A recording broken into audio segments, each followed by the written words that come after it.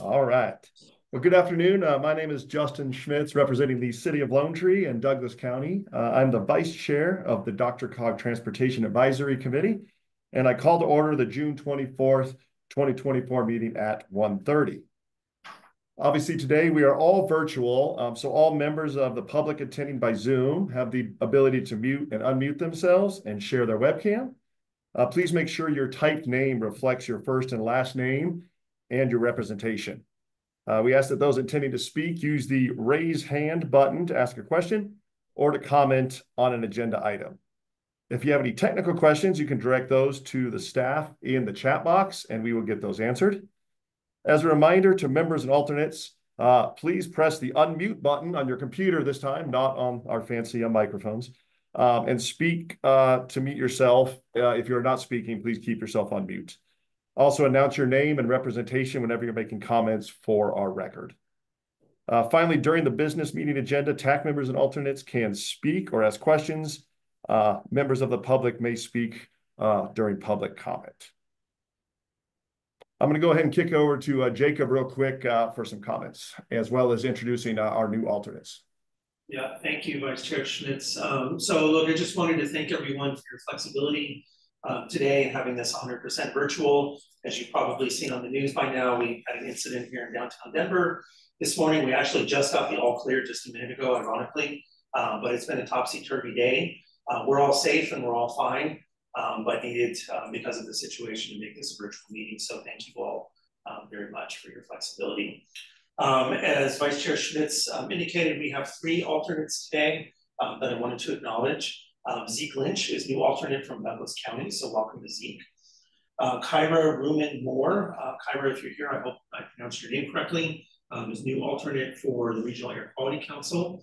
Um, and then finally, given that both Ron Papsdorf um, is out today, as well as our Executive Director, Doug Rex, we have temporarily appointed Steve Cook, um, who's sitting behind me and DRCOG staff as our uh, kind of alternate voting member. Do we have any sound? And thank you, uh, Vice Chair Schmitz. Yeah, thank you, Jacob, and, and thanks to DRCOG staff for thinking quickly, and, and I think that was a very good call to move this to a, a virtual meeting. Uh, with it being a virtual meeting, um, Cam, if uh, you want to sort of read all of the attendance into the record, uh, we'll do that versus having everybody introduce yourself. Okay, sounds good. Thank you. Uh, so in attendance right now, I see Justin Schmitz, uh, Aaron Busto, Alex Hyde Art Griffith, Bill Sroy, Brad Riviere, Bryce Hammerton, Carson Priest, Chris Chauvin, Chris Hudson, Christina Lane, David Gaspers, David Krutsinger, Don Sluter, James Usen, Jeff Dakenbring, Jeff Boyd, Jen Bartlett, Jessica Micklebust, Jonathan Webster, Jordan Rudel, Carrie Erickson, Kelly Van Viergen, Kent Moorman, Kevin Ash, Ira Ruman Hart, Lisa Nguyen, Allison, Michelle Melanakis, Mike Whitaker, Sean Poe, Alter Work, and uh, Zeke Lynch. Those are all the people, uh, members and alternates I see attending at this moment uh, Mr. Vice Chair. Thank you very much. That sounds like we definitely have a quorum, so great. Um, at this point, uh, we'll open our public comment. Um, so we will open the meeting for public comment. Public comment is limited to three minutes. If you've joined by Zoom, please raise your hand by pressing the raise hand button, uh, and we will call on you before you speak. If you've joined by phone, please raise your virtual hand by pressing star nine, and we will call on you by the last three digits of your phone number. Staff will unmute you, and then you will need to unmute yourself by pressing star six on your phone. You have three minutes to speak, after which time we will ask you uh, to wrap up your comments and your line will be muted. As a quick reminder, after the public comment period, only TAC members and alternates will partake in discussion uh, regarding each agenda item. So with that, we are opening our public comment, and I will ask staff if uh, we have any public comment or anyone raising their hand on uh, Zoom. Okay, uh, thank you, Mr. Vice Chair. Uh, I'll give it a second to see if anyone uh, raises their hand.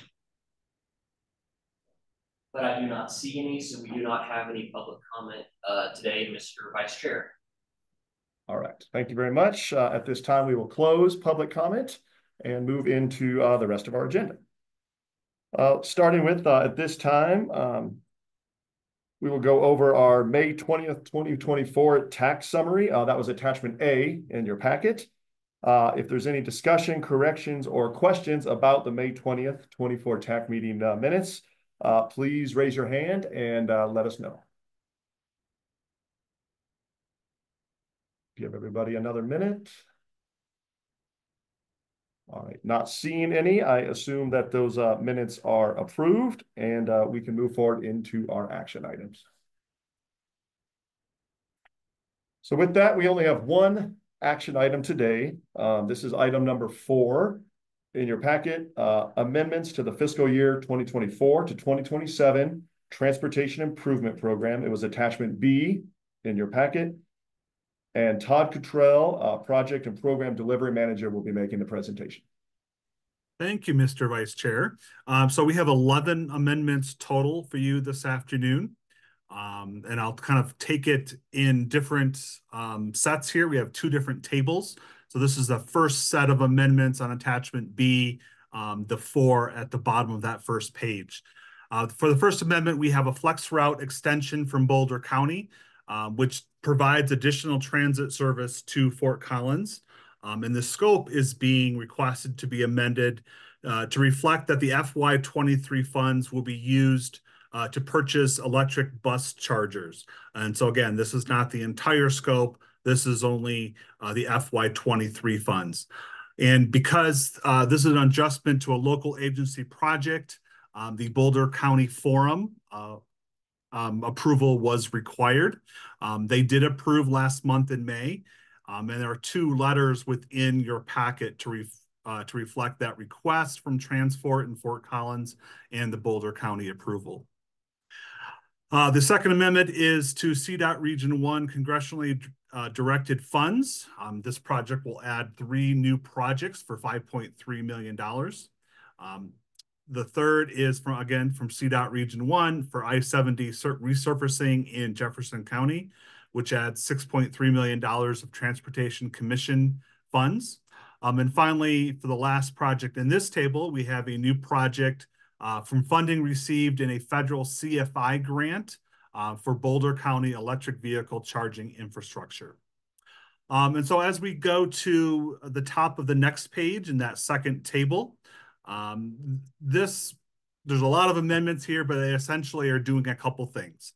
Uh, so first of all, we're adding a new project and new funding for the Greenland Wildlife Overpass at I-25.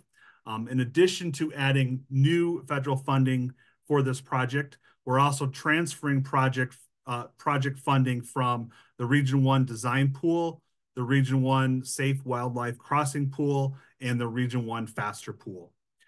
The second major action that has taken place within this table is to add a brand new project at I-25 and Colorado 7 for interim transit improvements. Um, there is no new funding being added to this project but we are moving funds from other existing tip projects into this brand new project, essentially trying to more clean up um, the actual tip itself. So funding is being moved in from the Region 1 Faster Pool, the Region 1 Permanent Water Quality Pool, and then the Region 1 Mobility Hub Pool. So again, those are the 11 amendments before you. I'm happy to take any questions or comments you have, um, but there should be a uh, recommended action there on your screen or in your packet.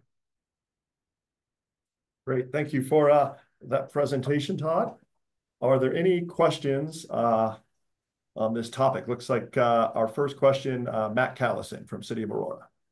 Thank you, Justin. Uh, good to be here all. Uh, could we have a brief description on what the new project, the I-25 Route 7 interim transit improvements covers? Um, yeah, hang on. Let me pull up more information unless there's somebody else already on the call that knows more than than I do. um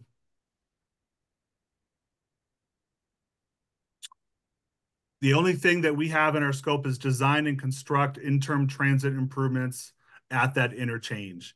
Um, and I'd be happy, I think Jessica, I see your hand. Yeah, can you hear me? Yep. Yep. We can- Okay. Um, excellent question, thank you. So the I twenty-five CO seven interim transit improvements, that is the name that is listed exactly as it is on the ten-year plan. So those funds are for the mobility hub, the, like, we're calling it the interim mobility hub before the full interchange someday, some year in the future may be constructed. So this is for a new multimodal hub with a bus slip ramp off of I twenty-five at State Highway seven. Um, some parking. I believe we've had some um, conversations with the local agency as well for some fencing that they wanted that they've um, contributed some funding for, as well as a large permanent water quality um, feature that will capture the future. If we ever do the future improvements, would be sized to capture those future um, water quality needs. Does that help, Mac? Thank you, Jessica. Yes, You're welcome. appreciate that. Okay, great. Thank you so much. Um, I think up next we had uh, Kent Moorman with the question. Yeah, just the question where the Greenland, uh, Greenland crossing is on I twenty-five.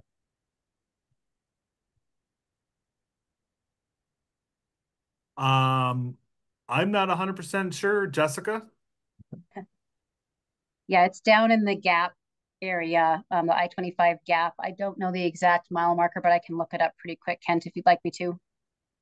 Don't need the exact, I just was curious general location. That, that helps. Thank you. Yeah, south of Castle Rock. O- Okay. I was just driving through there this weekend, so I was curious as well. Um, looks like our next question, uh, Art Griffith from Douglas County.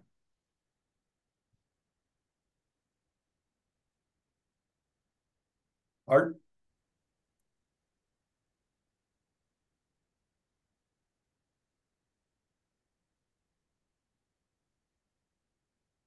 One more time. Art, I don't, uh, I didn't hear you, at least on my end, if you're making a comment there. Um, yeah, sorry about that. Just to answer Kent's question, I forgot to take it off mute. Um, it's about a mile and a half uh, to two miles north of the El Paso County, Douglas County boundary. Thank you. Thank you, Art. Any other questions um, on this item?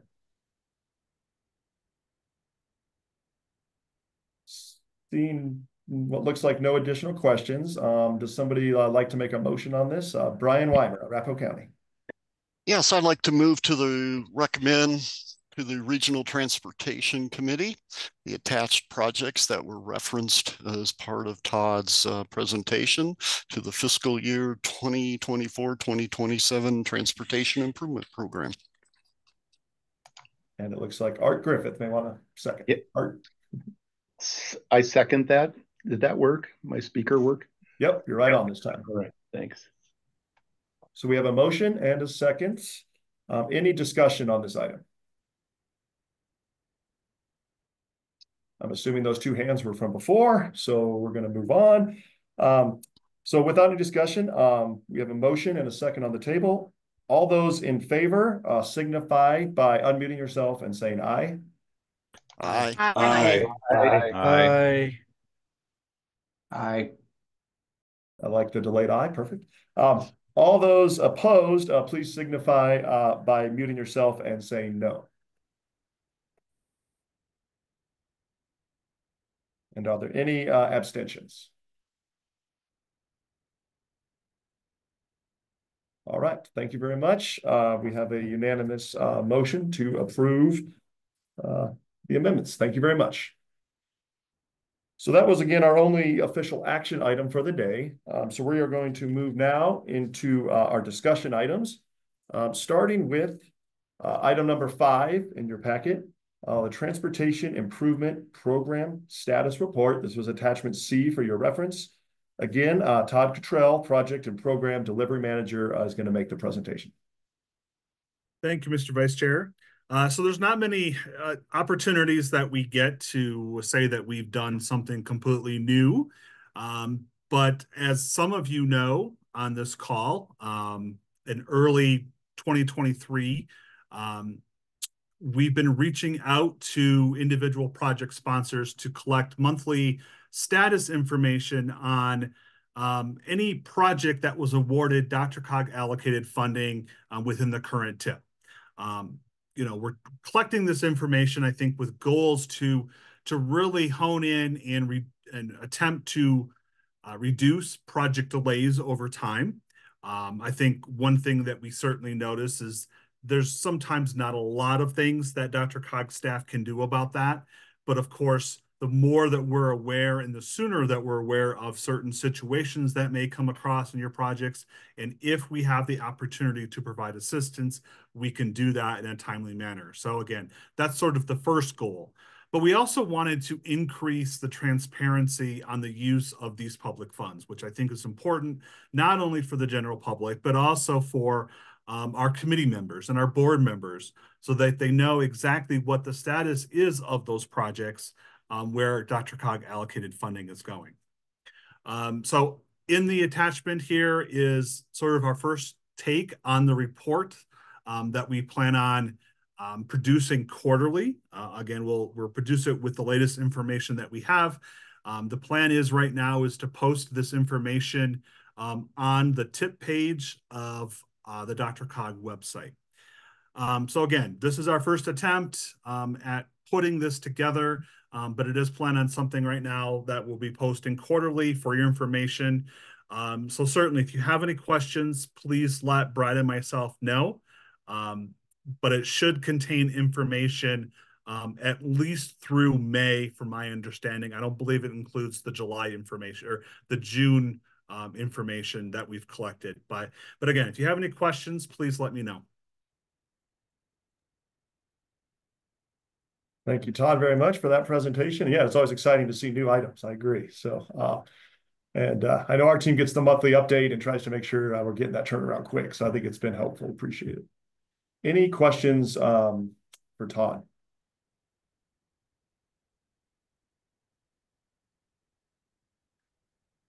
Looks like you might be good on this one.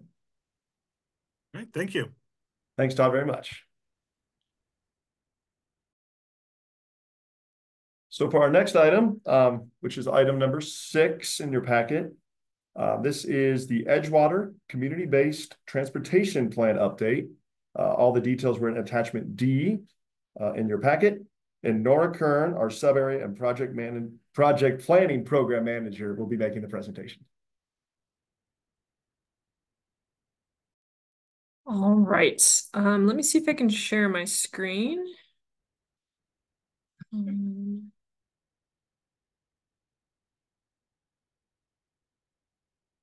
okay, hopefully you guys can see that.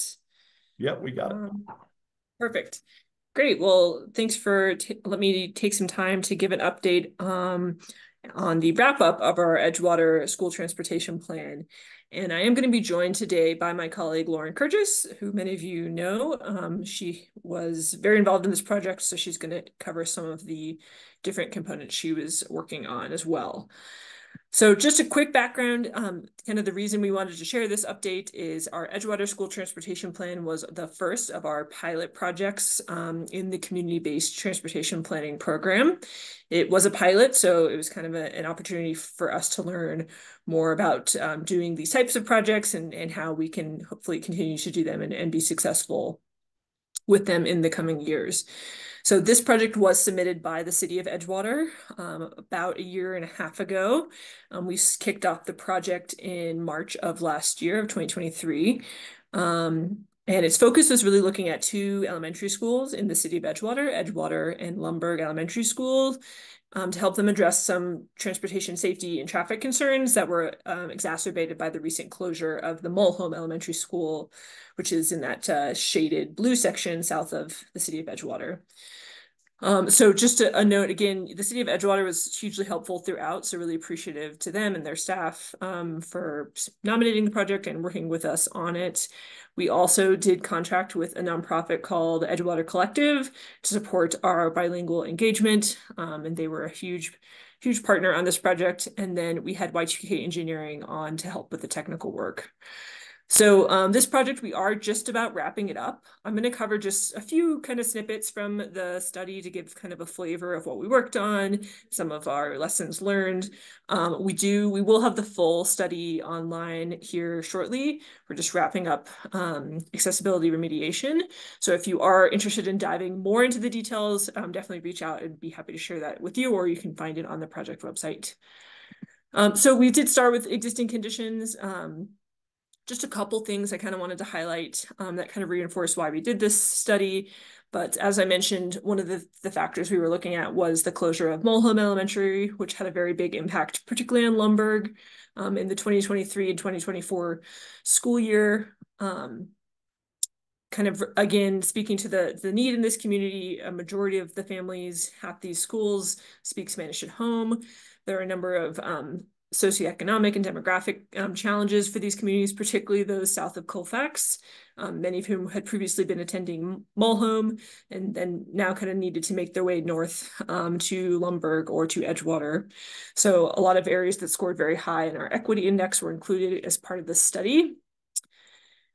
Um, we did also look at the transportation network. So um, for those familiar with Edgewater, you know, the area right around these schools is includes a lot of kind of lower traffic, lower speed neighborhood streets. They did have very narrow sidewalks, which definitely is a, a barrier for folks walking to school. And then there's a number of very busy arterials that's um, probably are not safe for elementary school students to cross. So that was another kind of factor um, going into this study. Um, Colfax in particular being directly south of uh, the city of Edgewater and these two schools is a, is a major barrier along with 20th um, and uh, and Pierce um, and 26th. So um, we did look at um, crashes. There have been a number of crashes in the vicinity of the schools. Um, a, quite a large number of them were pedestrian or bicyclist, and a lot occurred at intersections. So those were all some considerations um, we we took into the project. Um, and yeah, so that was just a snapshot. I did want to toss it over to my colleague Lauren if she wants to talk a little bit about the community engagement, which was um, our community-based transportation planning program is focused on supporting mobility for historically marginalized communities. So the engagement piece is really important. So Lauren, do you want to talk a little bit about that? Yeah, definitely. Um, good afternoon, everyone. Lauren Kurgis, multimodal planner with DRCOG. Um, so as Nora mentioned, community engagement was kind of at the core of this project. Um, and we, we did engagement throughout the entirety of the project. Uh, next slide. And so for engagement, we divided it into four phases. Um, and so we started with phase one as we had a project in the spring of 2023 and this phase continued into the summer as well. And for this phase, we were gathering perspectives on current conditions, needs, and experiences from students, from school families, and from community members to see um, what things look like currently for them, what were their experiences um, getting to and from school. And then for phase two, this was in the fall of 2023. And so for this phase, we were looking at parent perspectives on um, needs for the for the current school year for the new school year. So as nora mentioned enrollment increased um, pretty significantly at lumberg and at edgewater elementary as well in the new school year. And so we wanted to hear from parents to see what did things look like in the new school year with the increase in enrollment phase three was in the winter of this year and for this phase we had drafted our recommendations and shared those out um, to get some feedback on those. And we also wanted to evaluate perceptions around a pop-up demonstration project. And then phase four, our final phase was this spring. For this phase, we conducted the pop-up demonstration project. We gathered input on the pop-up and we shared out the final plan. Next slide.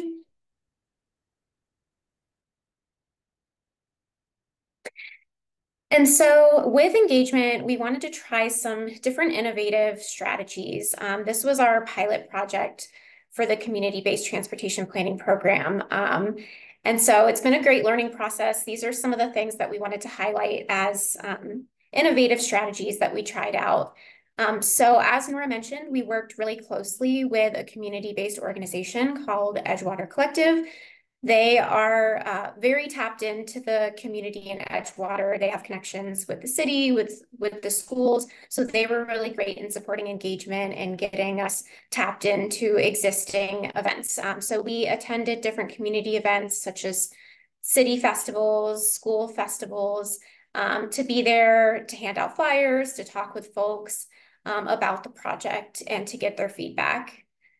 We also had a uh, social pinpoint website. So this is where we hosted engagement online. And this website was both informative and interactive. So people could go there to learn more about the project, to sign up for updates.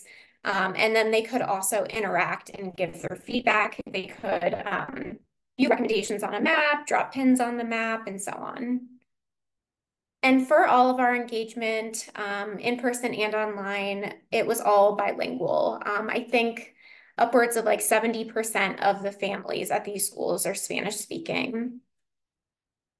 We also conducted some walk audits. And so we had a couple in the spring of 2023 that were kind of more traditional walk audits with um, uh, city officials, with uh, school principals, community members. And then we also had a walk audit in the summer of 23 with students. Um, so that was really fun to hear from them, um, to see kind of what they would like to see around their school for improvements. We also had a couple of focus groups, and for those focus groups, we did offer compensation. Um, it was $25 for the hour for their time. And then we offered childcare and food for the focus groups as well. And we held those focus groups right after the end of the school day so that families wouldn't have to make a special trip back to the school at a different time for the focus groups. Um, they'd already be there to pick up their kids. And then lastly, uh, three we held three transportation planning sessions. This was part of Jefferson Success Academy which is a summer program through Edgewater Collective and the schools. Um, and that was what the walk audit with the students. Um, we did we did that with the with the students. Um, and then we also had two additional planning sessions with them um, that were sort of more traditional, like classroom um, activities, talking about what is transportation planning, um, and additionally having them kind of draw like what their ideal street would look like. So that was really fun to hear from students. Next slide. And so as we've wrapped up this project, we've looked at evaluating the engagement process. These are some of the metrics that we have. Um, we had over 800 website views from over 450 website visitors. As far as we know, we've been mentioned in two news outlets. Um, and then we had nearly 200 total survey responses, and 50% of those that completed a survey chose to do so um, in Spanish. So overall, um, we think it went pretty well. Edgewater is a small community, so having over 800 website views um, kind of stands out to us um, as a win for engagement and reaching folks.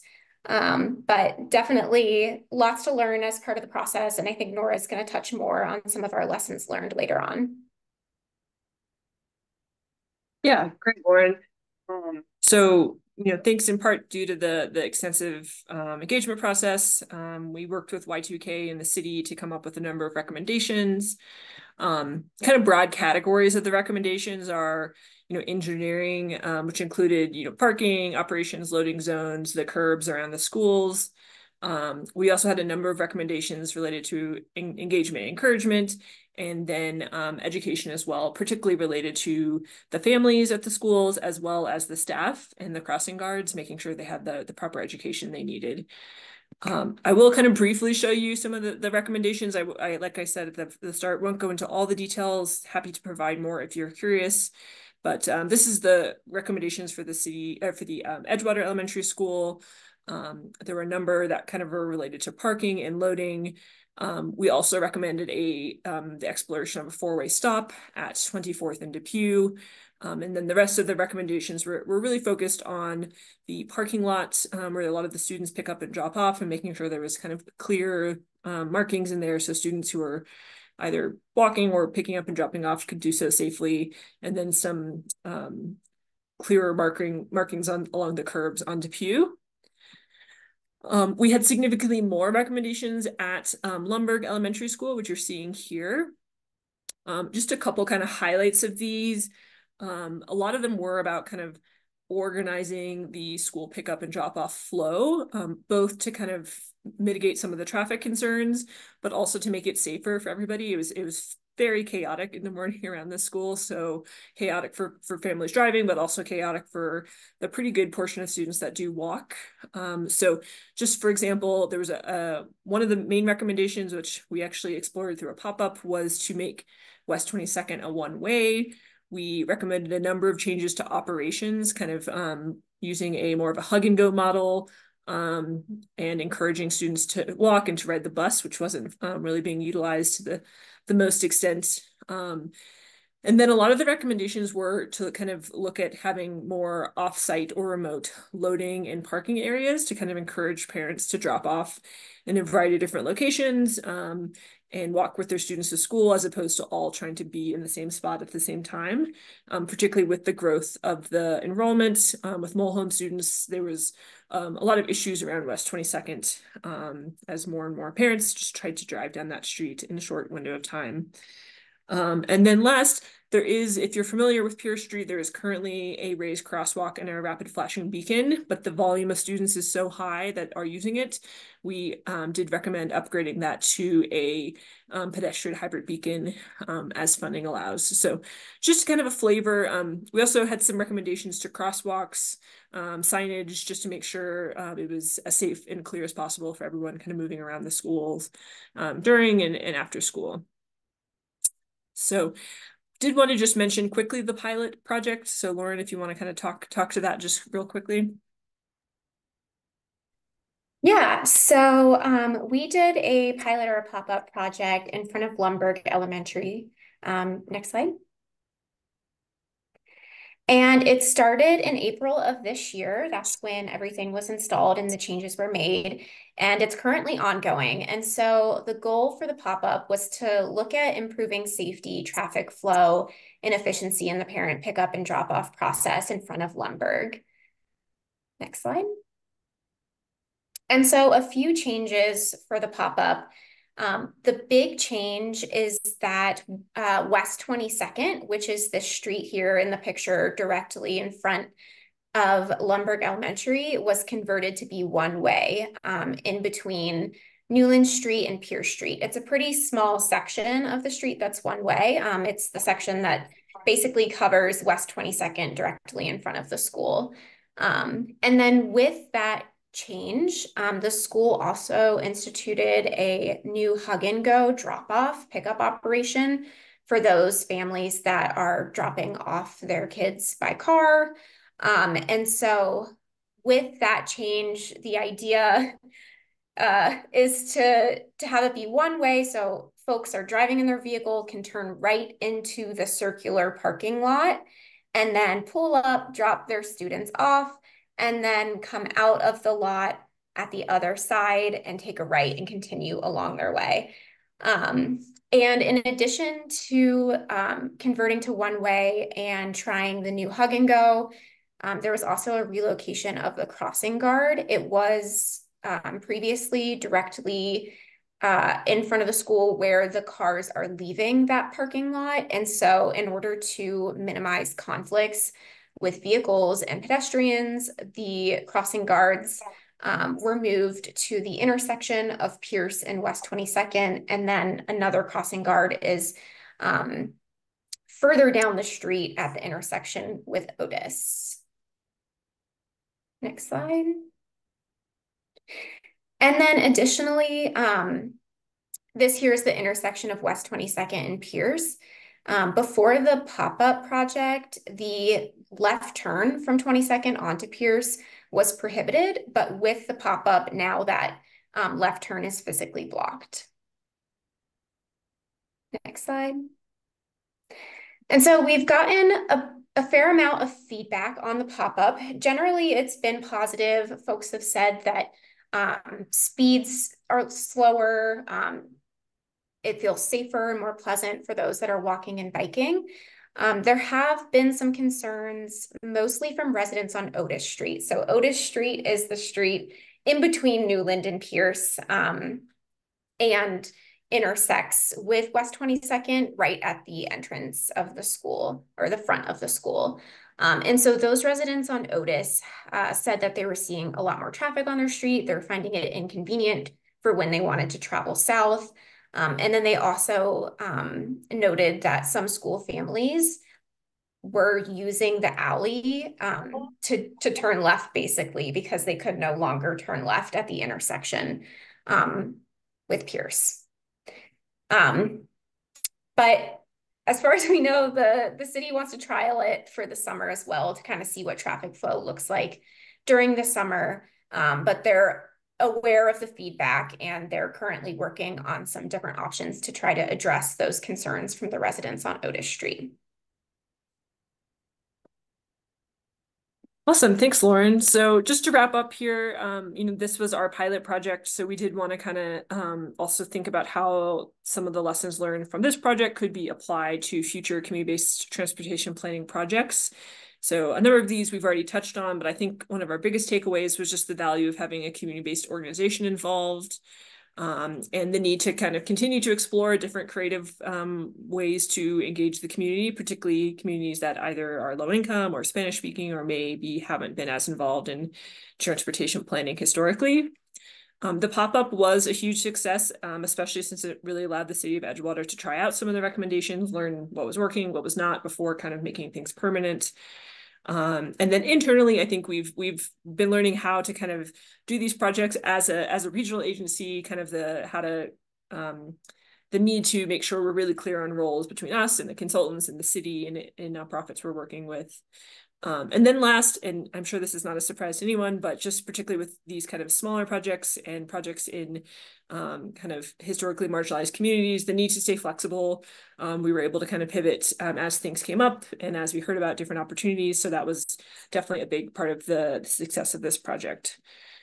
Um, looking ahead, um, just we have one other pilot community-based transportation planning project, which is underway. That's our North Federal Community Transportation Plan. Um, it's looking at this here area on the map and really looking at um, potential microtransit options in this area. So we're working closely with Adams County, the City of Westminster, and then a nonprofit called Growing Home on this project. Um, and then um, you may recall we have five projects that were approved um, through the community-based transportation planning set aside. So those will be rolling out in the coming months, starting with the 303 Artway and Montbello Loop implementation plan and the Brighton Core City study. Um, and then, yeah, we will be kind of our next call for projects for this program is going to be kind of late summer or fall of 2025. So if this kind of jogged any ideas in in your area that you might be interested in submitting, um, we definitely would encourage you to submit kind of next year when the when the um, let call for letter call for letters of nomination reopens. So with that, yep, happy to take any questions, but thanks for um, yeah letting us share a little bit about this project.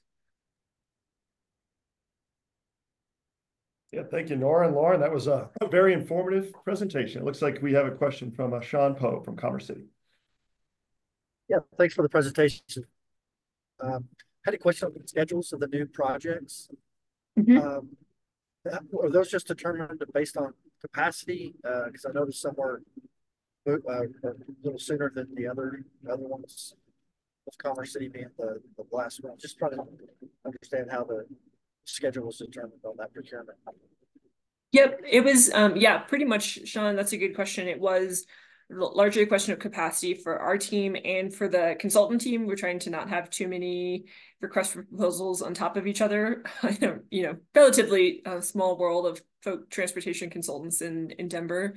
So um, we did we did talk with all the different um, the five projects that were not nominated to try to figure out kind of a logical cadence. Um, so we're we're definitely hoping to get to all of them with within a year or so. So we're hoping to start, um, for example, I think the Commerce City one is scheduled last, but hoping to start it early next year. So. Um, mm -hmm. uh, Brian, Yes, thank you for the presentation. A couple of questions. Well, I guess one question and uh, maybe some history. So with Lumberg, um, I see there's a lot of residential streets around it. And so was there a lot of parking drop-offs on those residential streets that created issues? And if so, uh, how did you address those in terms of you know circulation patterns are those being addressed or what's the long-term solution to solving that issue?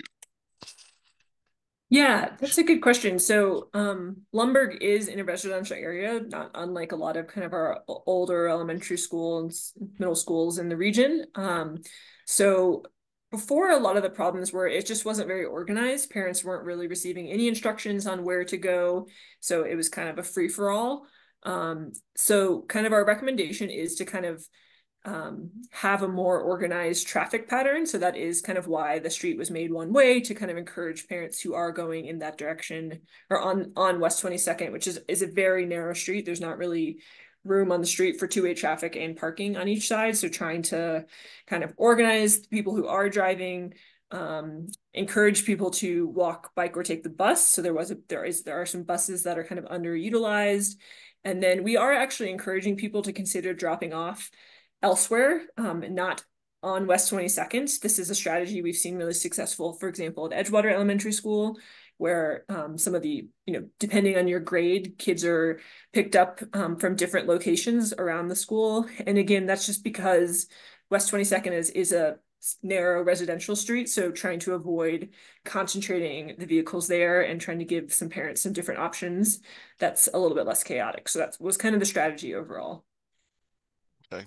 Is the school committed then to updating the parents annually as to what the circulation pattern is to be and how to do it? Yeah, we hope so. So Lumberg now has a, a, new principal, and so that's just you know a challenge um, but we have kind of put together a playbook for the new principal that's incoming and the city of edgewater has also been working with them and, and um, jefferson county school district to kind of make sure that those those uh, new recommendations kind of be implemented in the coming year. Okay thank you. Great any other questions? I did have one myself Nora as well just uh you talked about roles responsibilities um, I think that makes a lot of sense in these projects. But one question was, um, got kicked off. Sorry, one question was, who actually put in the pilot project? Was that the city? Did you guys contract it? How did that contractor actually get brought on to do that work? Oh, sorry, I missed the first part of that. My screen screen froze.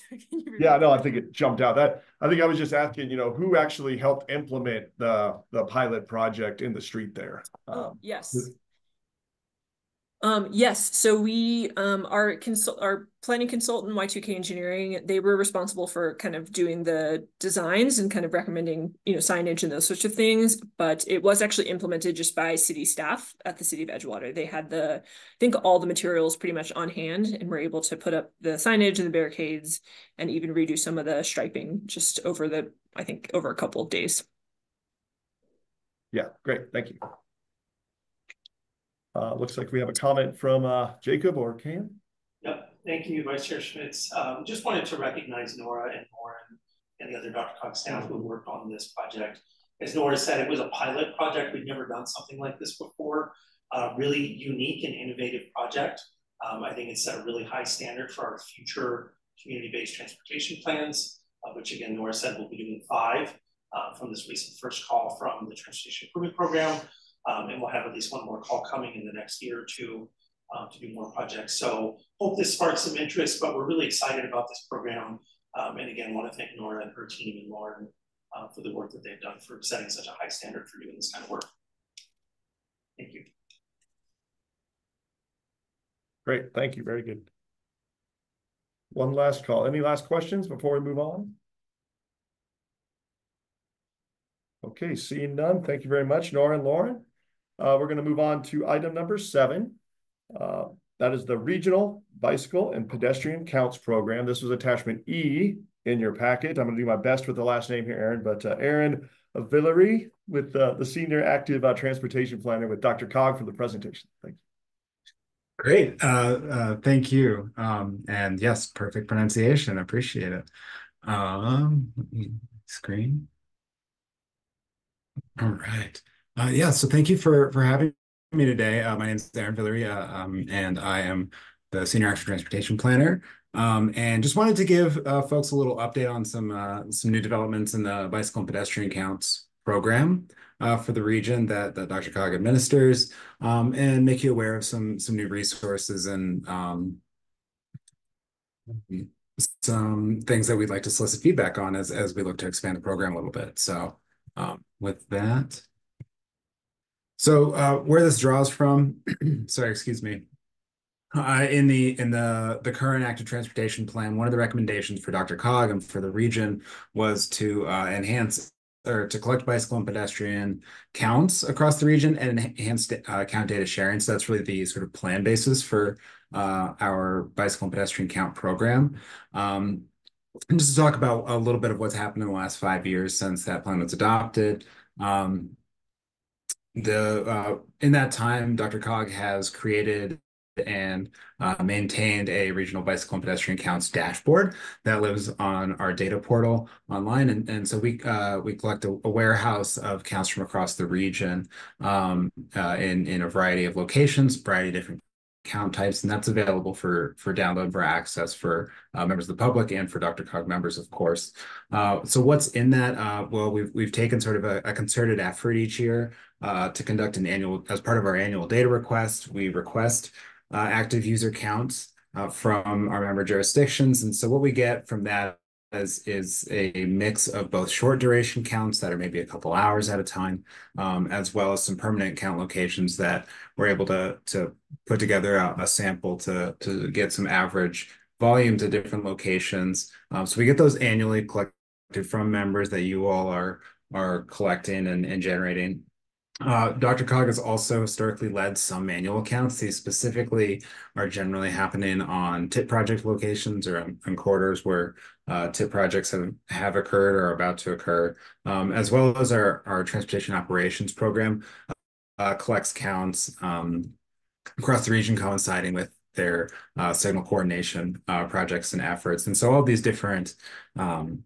uh, sort of conduits bring bring together count information, and, and that's all stored online. But uh, it's it's a really good basis to start. But uh, what we've been uh, interested in doing, um, and just to give you a little bit more uh, peek under the hood on, on what's in there, um, what we have as far as sample size, we have about, uh, on average, about 60 permanent count sites are submitted per year. And so a lot of these counts have, you know, um, sort of a varying number of unique sites that we're getting continuous counts throughout the year that we can have a really good image of, of what's happening at, at certain locations. And the number of manual count sites we found have really varied that, that in some years, uh, especially when there are focused initiatives happening around data collection, you can get a, a really large number of manual counts. And then in, in many years, there uh, really aren't that many. So anywhere between zero and 50, you know, and, and so these are, these together sort of bring a, a, a complete image of, of active user activity in the region and, and trends. Um, so we wanted to set that baseline of, of what we're really looking to do. Uh, we have some goals around our account program and, and really why we want to expand in it, invest some uh, time and resources into it. Uh, we want to be able to, so these are some program goals that we have for our accounts program. We want to be able to benchmark significant corridors, especially things that uh, we've noted uh, in, in planning documents, such as the active transportation corridors. We want to be able to track bench, uh, trends over time. Um, we want to benchmark ridership and activity. Uh, we want to track annual tra activity trends so that when uh, when folks ask us are, are, more or fewer people biking and walking, we we have a um, some information that we feel uh, really confident in uh, to understand what's happening across the region. Uh, we also want to be able to um, assess TIP funded projects before and after. We want to do uh, assist with good storytelling around those projects to really understand the impact um, of those investments. Um, we want to be able to maintain seasonal factors data. And so this is one of those places where it's uh, uh, really important to have uh, different snapshots at different times of the year, um, sort of across the region and consistent locations so that we sort of understand, you know, um, how does activity change in the fall versus the spring versus the summer, um, how do day, you know, time of day travel trends vary uh, over time. So we want to be able to maintain those those factors that we've developed historically.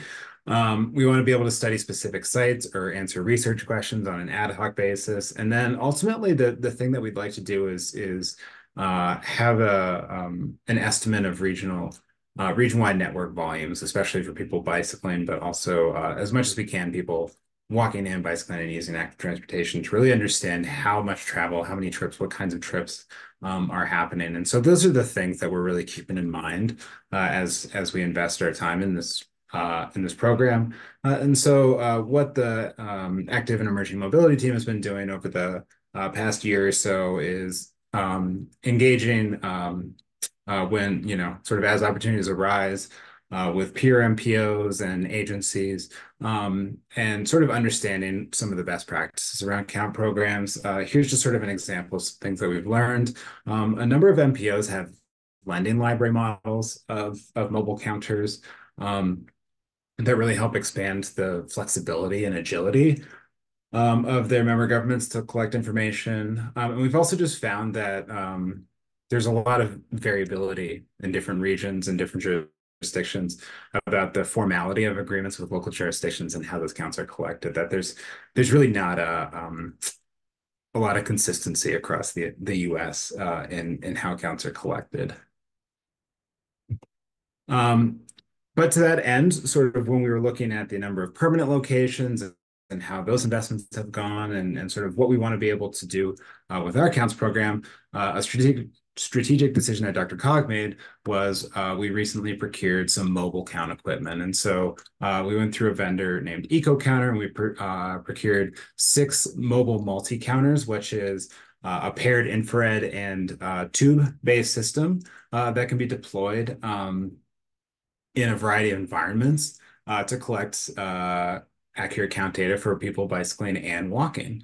Um, and so what we really like about this system is, is we'd like to augment existing capacity that member jurisdictions have, that our partners uh, have. Uh, we'd like to be able to count in a variety of contexts.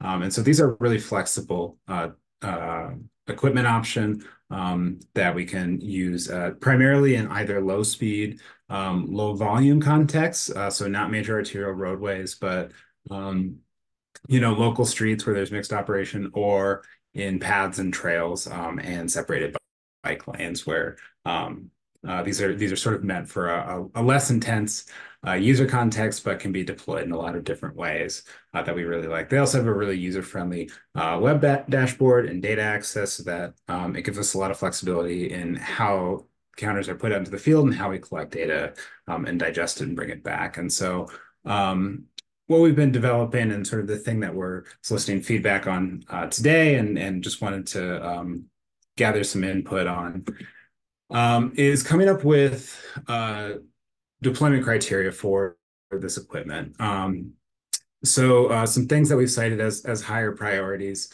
Um, we want to be able to, to assist with evaluating TIP-funded projects both before and after implementation and have a good, reliable method of, of collecting count data, um, uh, in in a variety of locations uh, that doesn't necessarily require someone to go out with a clipboard um, and and to help with that storytelling. Um, and then I'm going to talk about these in more detail, but we also want to assist with the actual transportation plan, both its uh, development and implementation. We want to be able to track multi-year user trends um, in a variety of contexts. We want to be able to ground truth data um, support regional count estimation, and then uh, track special events and uh, sort of ad hoc deployment context.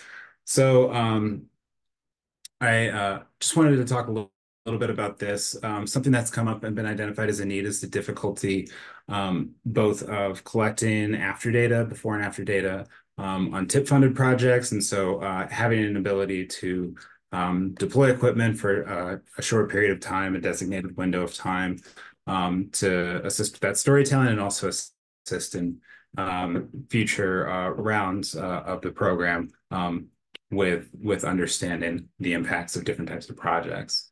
Um, so having having more data around uh, the TIP, um, support looking at trends or supporting uh, implementation of the active transportation program. So specifically looking at places that we've identified in the regional active transportation network. We're currently updating the, active transportation plan.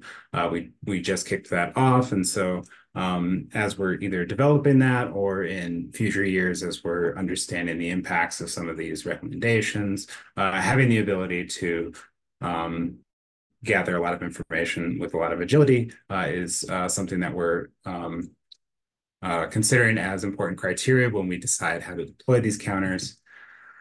Um, and then one of the other opportunities that's really come up is, is that we are uh, getting access to um, sources of big data. So for instance, um, the INRIX RIDE report uh, shared micromobility dashboard collects a lot of information around shared micromobility trips, and DRCOG manages this uh, this dashboard um, that tracks all of the shared bike, e-bike, and uh, e-scooter trips around the region. And so um, we're you know we have access to things like Strava Metro View, and and so using those big data sources and having ground truth uh, collected data um, to really sort of leverage that into understanding uh, region-wide activity um, is is a really important criteria for uh, considering uh, where to uh, deploy these counters, where to use uh, scarce resources, um, and then and finally um, uh, tracking things like special events, bike to work day coming up is something that we, would like to be able to, to sort of count in future years and look at the impact.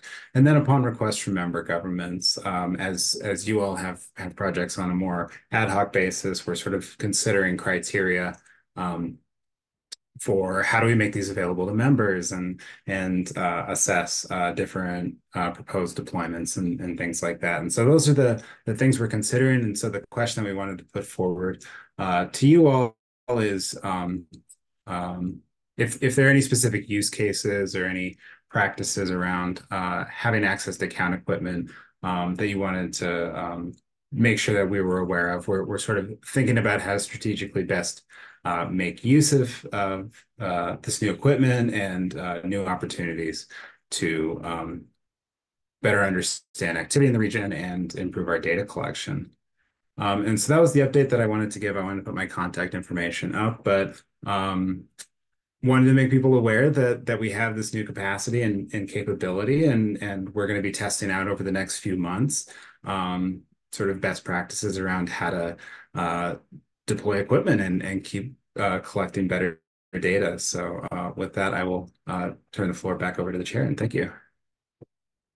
Yeah, thank you, Aaron. Uh, great update, and open it up to any questions. I know Aaron asked specifically if anybody has some maybe test cases or if you want to be first in line uh, to get uh, access to them, you may want to make a comment. But uh, any comments or, or, questions for Aaron? Uh, Mac Callison, City of Aurora. Thank you, Justin. Uh, thank you for the presentation, Aaron. Um, was curious, uh, or will you be developing best practices, uh, methodologies on sampling, uh, day of week, week of month, month of year, that type of thing, um, to help us, uh, you know, develop. You, you mentioned having a having a consistent uh, uh, database to the extent possible, of course, um, uh, across the region for for comparative purposes. on that, we'd be very interested in in what your thoughts and, and research are bringing um, in in regards to that. Yeah, absolutely. Um, so uh, one of the things that uh, so the short answer is yes. Um, we absolutely are. You know, I'm I'm in the process of developing materials that's just sort of basic program management around this, and and with that, you know, um, we've gotten some guidance from uh, from our vendor EcoCounter um, just about the um, uh, the equipment itself, but then also there's there's a, a decent amount of, of national research on this, and we've worked with some national researchers in the past around best practices for deployment period, you know, time of week. Um, and and so we're we're going to be sort of using like what's in that national best practice, and also just kind of what works within our context, how much demand there is, I think, for different counters and things like that to try to strike that balance of, you know, what's a good amount of time to have it out um, in the field at each location. Um, uh, I think part of what we're developing right now is is the sort of like what are the criteria? How do we assess like a um, an important deployment context and um, yeah, some some basic practices that are sort of user friendly around how do you fit it into an operation schedule, things like that. So um, we're very much like in the phase of of kind of testing and piloting. You know, how does this work? And and I want to get a better understanding of the demand among uh, different jurisdictions. Um, to either collect data or to um, uh, uh, you know have assistance in uh, in deploying counters. So um, thank you for that. De we're we're definitely interested, as I suspect many communities will be. Um, a follow up from that, uh, any any ability to um, uh, to separate uh, kinetic or acoustic bikes, if you will, from e-bikes? Out of curiosity. Yeah, um, that is a good question, and I don't believe with this equipment there is. There's there's some ability to differentiate um, sort of types of vehicles based on some pretty crude metrics like wheelbase and things like that. But um, um, at this point, like the things that we'll be able to tell very reliably is is it like a wheeled bicycle versus a pedestrian? That's sort of the best we have, and and beyond that, you know, you sort of get into um, needing more expensive data collection, um, such as video and things like that. So unfortunately not, but it's also, you know, we sort of see it as one piece in the puzzle. So it might be the kind of thing that we can augment with some, you know, manual counts and going out and doing the good old fashioned clipboard collection. So okay. I think Thank we sort of see it as a piece in the puzzle. Okay. Appreciate that. Thank you. Great. I think Brian Weimer, I see his hand as well. Yeah, thank you. And thanks for the presentation. My question is, will you have the ability to um, determine what is a work trip versus a recreational trip? Mm. Um, that is a great question. Not from this, not specifically from this count equipment.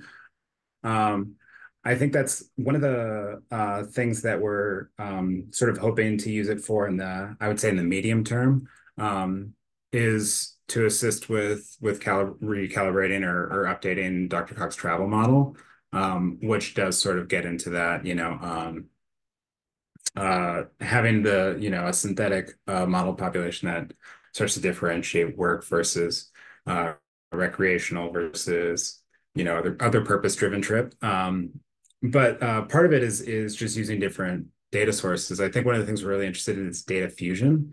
Um, so using these big data sources that we have, you know, some access to, like Strava, for instance, is a data source that, you know, by itself is not a great indicator of, of use, but can be a good indicator of things like share of recreational versus commute trips. And, and so sort of using all these different things like our travel model, like some different purchased uh, big data sources, um, um, and then having things like Strava that we can sort of put them all together. And we've been talking to some of our peers, like in, in Portland at the MPO um, or at Oregon Metro, um, um, and uh, some other places to try to uh, get at some of that information. So um, we sort of see this as an important collection source to to have, so that we can start to get into those that next level of questions, if that um, if that makes sense.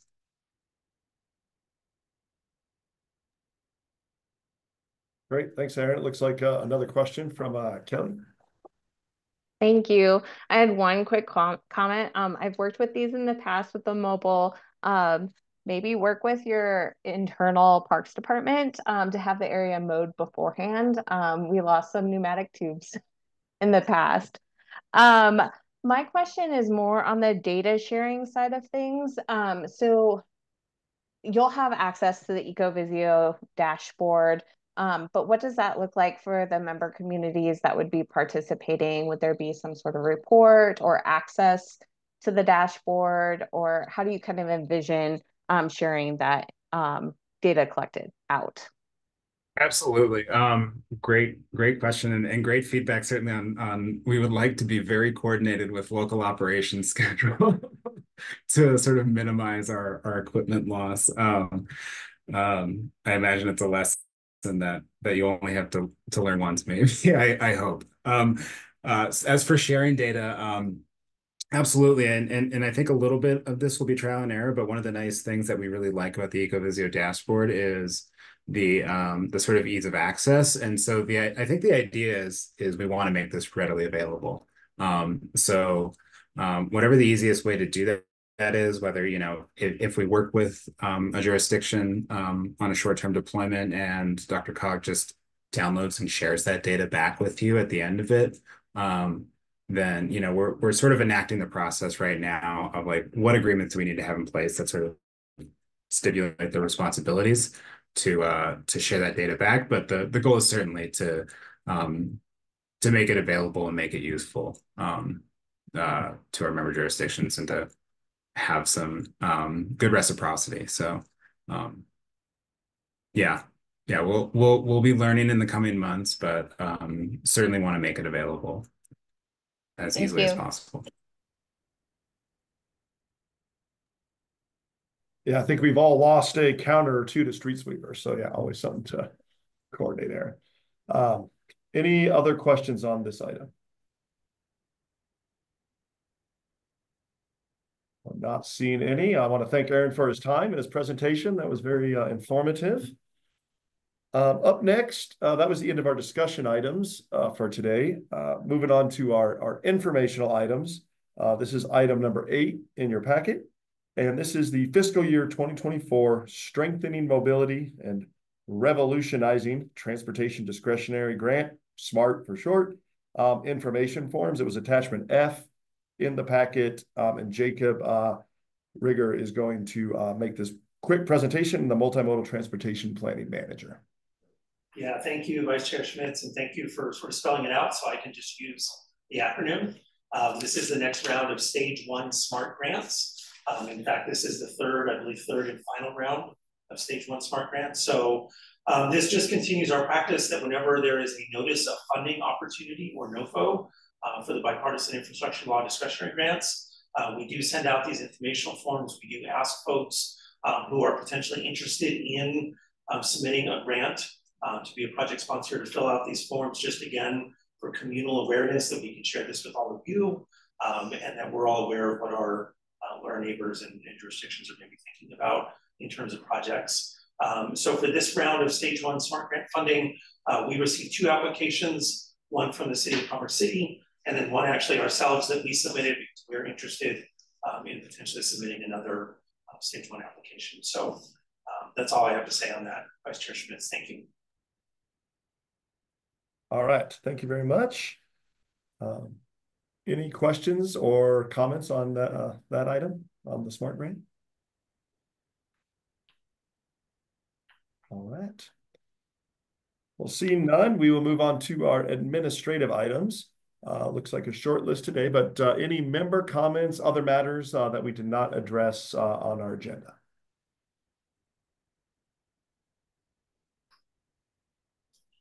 Okay, seeing Seeing none, our next meeting uh, will be July 22nd, 2024. And uh, looks like we have a hand up there back at the DRCOG office. Yeah, thank you, Vice Chair Schmitz. Just again, want to thank everyone for their flexibility today and converting this to a virtual meeting. And just to remind folks, as Aaron Villere said earlier, Bike to Work Day is this Wednesday. Um, so hope to see you all out there. Thank you. Yes, that's thanks for that reminder. Uh, going to be a nice warm bike to work day, so we can all get out there and uh, enjoy the ride in, and then you know uh, sweat on the way home. So it'll be a, a good day out there.